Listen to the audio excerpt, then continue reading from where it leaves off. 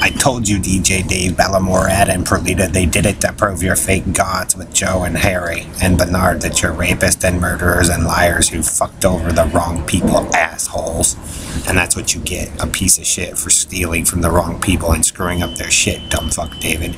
Genesis and the thing doesn't work right if you like to commit terrorist attacks to hospitals and stuff and screw up shit. So, shh, Robo Knight, factor it a fair amount and fade out all you want, but you're like top sicko of, you know, Pickett Street, Jamaica Street, Harry, Joe, and Bernard and Hillary's. Convene NATO again.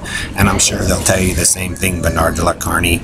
You're the dumb fuck that stole people's shit and fucked everything up with the all American.